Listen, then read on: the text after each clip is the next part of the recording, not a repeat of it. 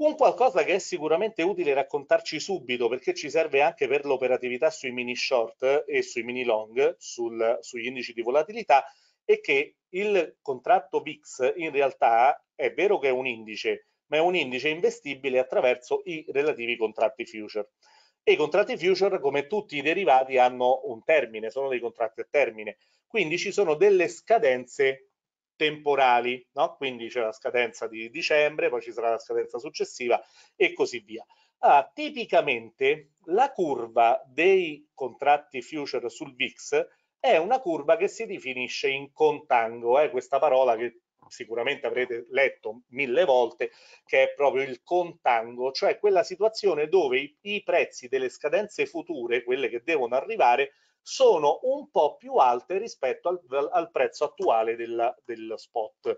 Perché? Perché tecnicamente la volatilità tende nei mesi successivi, anche in situazioni di mercato abbastanza tranquille, si considera che debba essere un pochino più alta ma senza grandi strappi.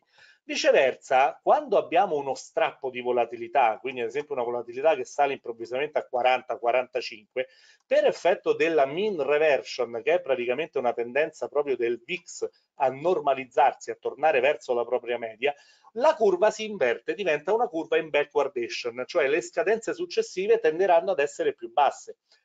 E questo che stiamo leggendo qui in questa, in questa immagine è molto importante per il proseguio del nostro appuntamento, ma per la vostra operatività. Perché dovrete sapere quindi che in una situazione di curva in contango, che è quella che c'è anche in questo momento, andando ad acquistare un contratto future long, un mini long, scusate, sul VIX, puntando sul fatto che possa salire, quindi per coprirsi dal rischio di salita e quindi coprire il portafoglio, dovrà tenere conto che nel frattempo, nel corso dei mesi, ci sarà questo contango cioè questa differenza tra un contratto e l'altro che sarà a sfavore. Io venderò il, il contratto a 27 per comprare il successivo a 27,50. Quei 0,5 io li pago nello spread rollover, cioè in quello che è il passaggio tra una scadenza e l'altra. E a questo proposito, proprio per evitare che poi sia una presentazione eh, a una sola voce, Matteo, Vogliamo immediatamente specificare quindi che il future, che c'è che il sottostante dei mini future sul VIX effettivamente è il contratto future e che quindi è soggetto al rollover spread, magari senza entrare troppo nel tecnicismo a livello dei giorni in cui viene effettuato, però possiamo un po' specificare effettivamente un po' come avviene, cioè se lo paghiamo, come lo paghiamo, allora, sì, quello che tu dici è corretto. Il sottostante è un futures. Quindi, diciamo, cosa vuole dire? Vuol dire che poi magari entreremo più nel dettaglio, ma eh, il singolo mini futures che compriamo ha come riferimento un'unità del sottostante, quindi un futures. Cosa succede quando c'è un, un rollover? Quindi quando un futures sta per scadere e bisogna quindi trasferire la posizione su un'altra. Noi vendiamo il, uh, il, stiamo supponendo di un mini long, vendiamo il prodotto, il, il futures su cui avevamo esposizione, quindi supponiamo una settimana fa che fosse quello di settembre, e andiamo a comprare quello di ottobre.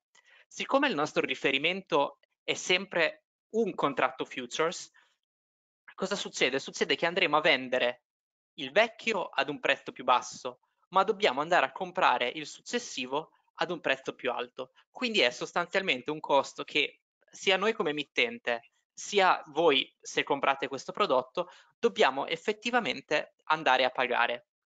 Uh, come viene applicato, poi questo lo vedremo, lo vedremo più tardi, andiamo a spostare verso l'alto i livelli di strike e di barriera dello stesso importo. Quindi se aumenta di, eh, se, se, ad esempio la, la, curva tra due futures consecutivi è di 50 centesimi, per farla, per farla semplice, andremo a spostare per, verso l'alto sia per i long sia per i short il uh, di 50 centesimi sia livelli di strike sia livelli di barriera. Quindi ecco, diciamo che da un punto di vista operativo il fatto che ci siano delle scadenze mensili e quindi eventualmente una situazione di contango non implica che io vada a perdere necessariamente dei soldi, però non riesco ad ottenere quel profitto che magari immagino di avere per il fatto che nel frattempo il, il contratto future è passato da 25 a 28. No? E questo ti devo dire, eh, Matteo è stato un po' ciò che ha ingannato per tanti anni gli investitori sul natural gas. Io ricordo il natural gas, ma, ma ti parlo già 15 anni fa, eh, eh, c'erano degli strumenti che permettevano di operare sul natural gas e questo gas tu lo vedevi magari oggi che valeva 3 e poi dopo un anno e mezzo valeva 4 o 5 e vedevi che lo strumento che avevi utilizzato in realtà non aveva guadagnato, era rimasto più o meno da quelle parti e le persone dicevano ah ma allora non funziona.